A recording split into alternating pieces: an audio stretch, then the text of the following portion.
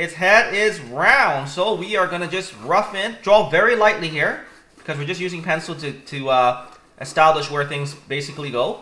Okay, draw a very light circle right here. Draw a very light circle.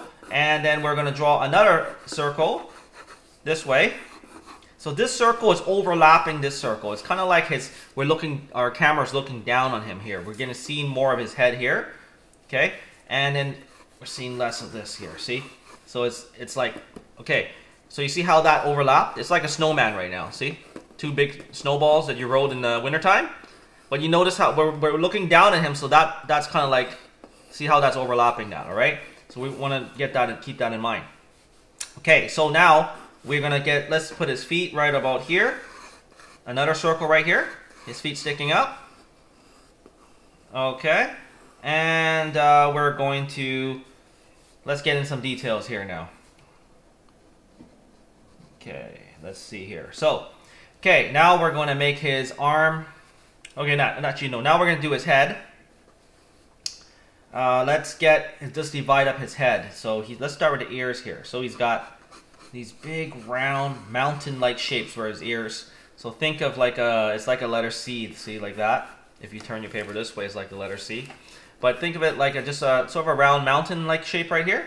Okay, and then we're gonna, this starting from here, we're gonna do another mountain shape like that. Okay, and then it's to come down like this into where his head's to go. And it's to be like that. It's to curve right around his head like this. Starting from here, it's to curve right around like that. Okay? And then over here, it's to come down like this and around like that. It's a little bit wider here. See, it's wider here, and it's going to get narrower here. Much, much narrower to the point that it's very narrow here. See that? And it's going to come up and up to right about here. So you see where his, his ear is right here? It's going to be kind of like see where his line, see that's what you want to do when you're in drawing. You want to always cross-reference. You always want to reference these. See that line? It's about where that line is. See? It's going to come up here. Okay? And you see that that's overlapping this way like that. Okay? Draw lightly. Don't worry if it's rough right now because that'll, that'll give your drawing a more energy. It'll look looser drawing looser will, will make your drawings, what I mean, it'll make your finished drawing look more, um, more energetic, it'll look less stiff, it'll look more lively. So it's okay to draw loose and rough at this stage, okay? All right, so here we go. Now let's get his arm in, and let's let's put it right about here. Let's put little triangles here for his fingers. Two and three and four sticking out, and then a curve a line like that, a curvy line like that. And then another curvy line this way, it overlaps this line. Okay, so you want to understand that. It's overlapping here. See this line is overlapping. Okay, coming down is a curve for his chest. And then we're going to start doing, uh, let's do his other arm here. Okay, let's make his other arm stick up too. Right about here and right there. Okay, and here's a thumb here, one sticking out triangle like that. Another triangle. They're just triangle shapes. What shapes are his fingers? Triangles. That's right. Keep that in mind. Just triangle shapes. Okay, there we go. And make it a little bit wider here and narrower here. See, wider and narrower. Same thing. Should be the same thing for this side. So I might have made his finger go up a little bit too high there to make that look narrow. Okay, you can actually leave yours if it looks good. I'm just going to bring it in just a little bit. Because I want to get this idea that is narrower up here and wider down here. See, it's like a little bit thicker, wider down here, okay? All right, now his toes here, he's got three of them. They're just, what shape are his toes? Triangles. That's right. Always think of? Basic shape. That's right. Okay, and I love this here. He's, he's like Snorlax. I think it's so cute. This will represent the bottom of his uh, feet here, his soles of his feet. Just make an ellipse here. And what's an ellipse? It's like a stretched out circle. That's right. It's a circle in perspective, basically. Uh, so it's not a perfect circle. It's kind of like, see, I've got it stretched out this way. Okay? Same with his feet. It's kind of like uh, not a perfect circle. It's a little bit stretched out this way. Okay? So a little bit wider circle. It's an ellipse, which means a circle in perspective. You're looking at the circle on an angle. Perspective means you're just looking things on, on an angle. Okay? All right. So now we're going to do his, uh, let's put in some details of his kind of like, he's got like a, is, he is it a dress he's wearing? It kind of looks like it. Okay, so this line comes a little bit further in on his arm. Okay, and then we're gonna then bring a line down here. Stick, and we're gonna start doing some little triangles. Actually, make the first triangle smaller if you can. It's gonna be smaller, getting bigger here, and they're all gonna be different size triangles. So just one little one here, maybe another one here, right? Another one pointing out like that.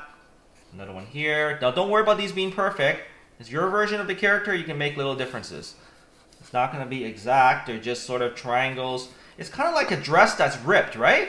Kind of. It's like his dress is ripped. So, or his, I don't know if it's his dress or whatnot. I say I should say it's his outfit. Okay. So we're just going to make little triangle shapes all around here. See, they're going to be a little bit smaller here, a little bit bigger here, a little bit bigger again. You know, you just kind of make some nice random triangle shapes, but it should be a little bit smaller right at the very ends here. Because why is that? um, because it's in perspective. That's right. Because things farther away from us will look.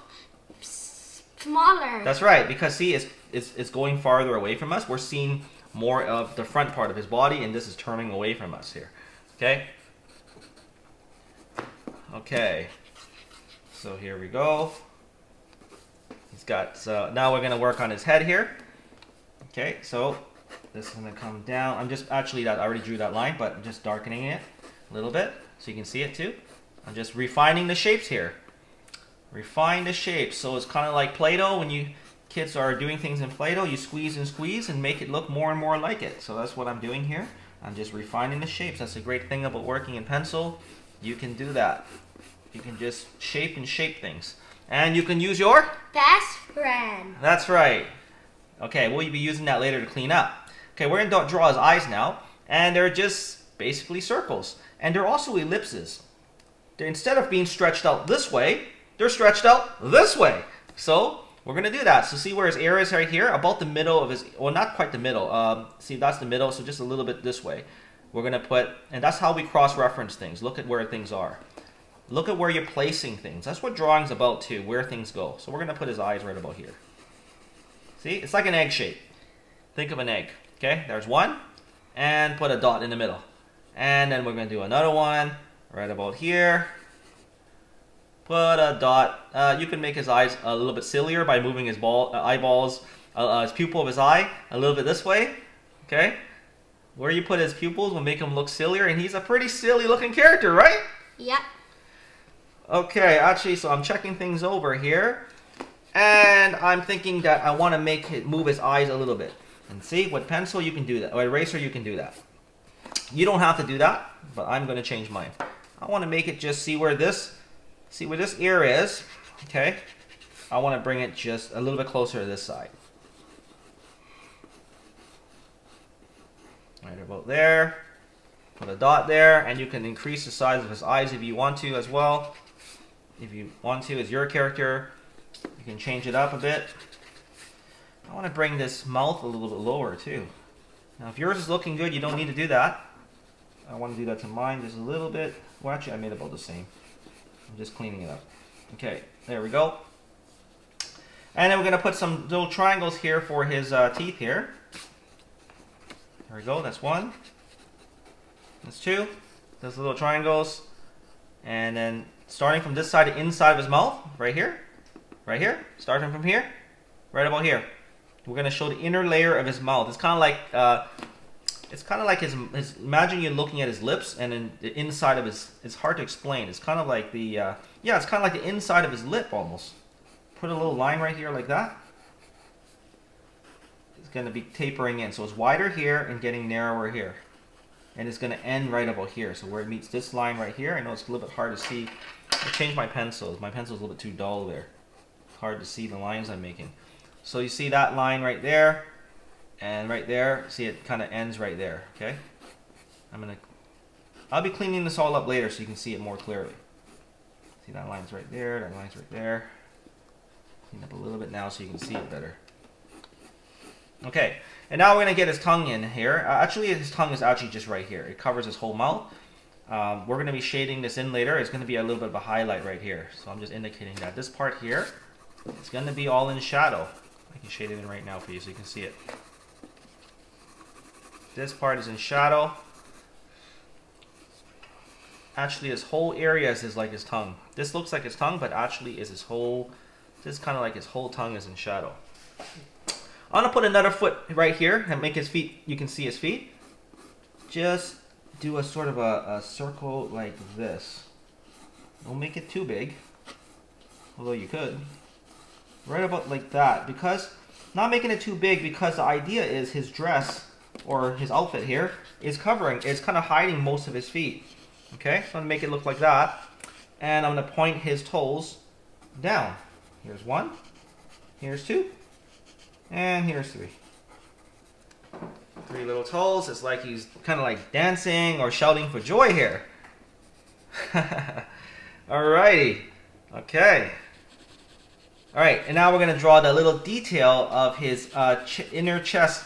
All the Pokemons have something around here. Most of them do. They usually have like a U shape. He's yeah, got like a little... Yeah, like Charmander, Snorlax. That's right, that's right. He's got a sort of a little uh, circle here, but it's hidden by his nice, cute little jaw here. So we're going to draw a circle, but it's not, um, we're not seeing all of it. And again, is an ellipse because it's not a perfect circle. Perfect circles are, you know, they're perfectly round like that. It's kind of, you know, stretched out this way a little bit. So we're going to, we're going to place it um, right about here. So you see where that is going to be right about here. And we're going to just draw, and see, we just, just rough in a nice little circle. It doesn't need to be perfect, see? That's why it's great to use pencil. You can just rough things in and reshape things, whatever you need to do. You can refine things. See, I'm just refining that shape there.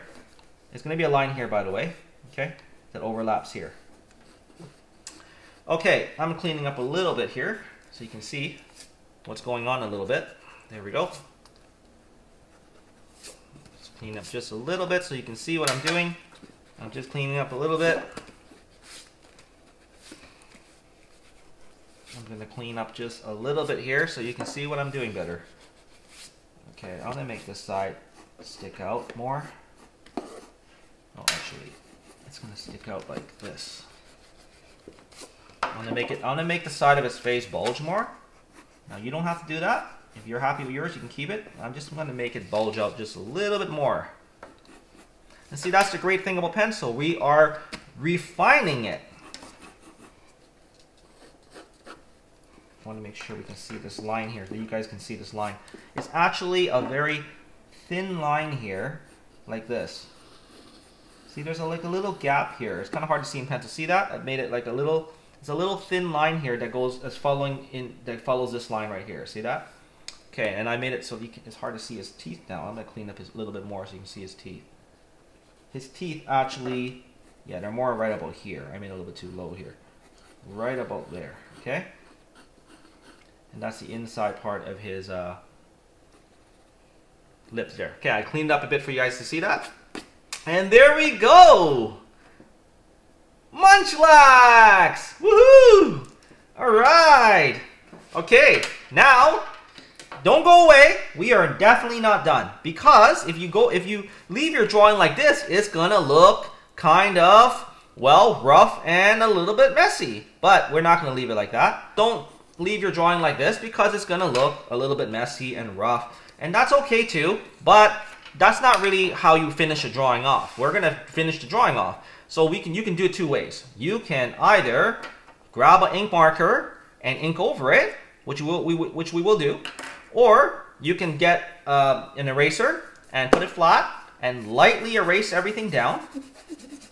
So it's almost like you're racing everything away, but you see, we're not racing everything away. We're just cleaning up, and we're you see, you're racing away so you can still see everything.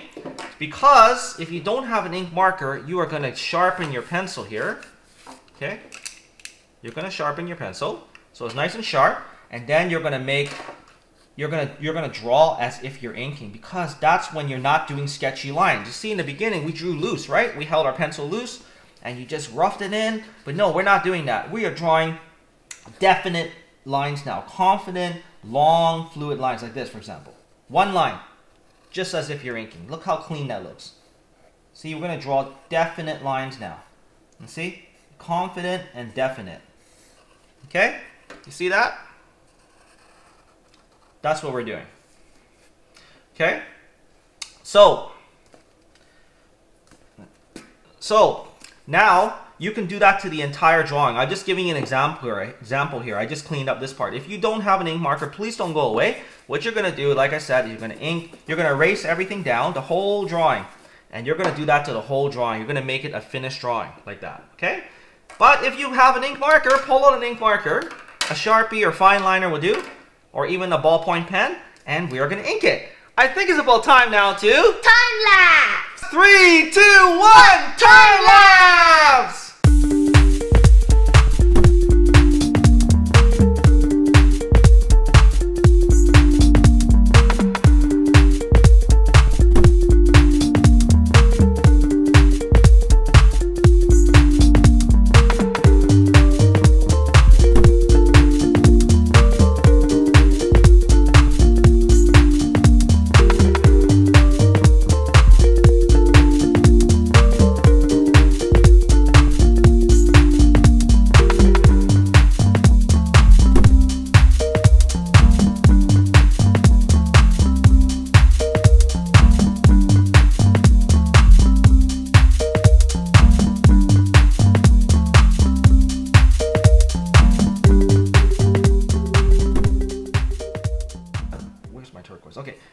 Start off with a turquoise first? So I'm gonna start off with a turquoise and see how where that goes.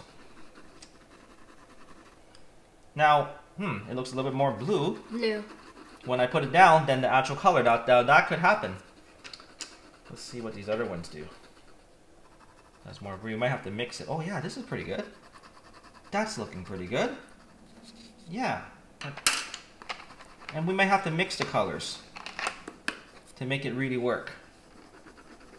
Okay, so I'm like I say, you can use a, a sort of a, a bluey green color or bluish color. Or what I've got here is sort of a turquoise color. Even though it looks green, it's actually looking kind of turquoise-like. Okay, so when you're coloring, kids, it is important to follow the Form. that's right. So these are forms. That means they're see these are not they're shapes, but form meaning they're three-dimensional shapes. You want to think about these three-dimensional shapes. They're all basic shapes like circles, squares, triangles, but they're forms. They're they've got structure. They're they're three-dimensional blocks, you know, of, of shapes. So we want to think about that and we want to follow the form. So see this form here going this way? Well, we don't want to just color going this way. His form is going this way, so we are going to see that. Now I'm making my form, I'm following the form. See that? That's going to also make your drawings look better. It's going to look more three-dimensional. Do you want your characters to look more three-dimensional or you want them to look flat? Three dimensional. That's right, and that's how we do that. So in this part here is actually, think of his head, it's like curving. See, his head isn't flat, it's kind of like, like a curve here. You see, it's like bulging this way. So that's why we're gonna, we're gonna color as if, we're gonna color like that too. And see, you can turn your paper, kids. Turning your paper helps too to get the, uh, the right angle of your arm and wrist movement. I always say it's good to use your whole arm to draw, not just your wrist. Okay? Depends though. If you're doing details and you use more of your wrist. Okay, so this whole upper part here, I'm following the, see now this side, I'm following the form. See that curve like that? I'm following the form. You don't need to color too dark right away because we can build up our colors and you can add other colors and they will probably mix in depending on what you're using to color. Okay, everything works a little bit different, but it's kind of the same idea in some ways.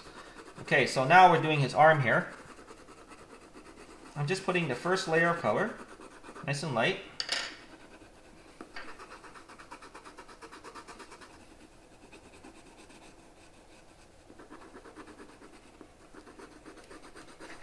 Follow that form. Very important. And you kids probably already know you need the color, you gotta stay within the lines. Ain't that right? Yep. That one you guys already know, I'm sure. Your parents are probably telling you that. if you're a young kid, okay? Now, uh, now we're gonna do his body. And again, I'm trying to follow the form. And if you need to sharpen your pencil, please do so. Oh, there we go. Listen to that nice pencil sound, sharpening sound. All right. So sharpen your pencil. I'm gonna sharpen mine too. All right. There we go.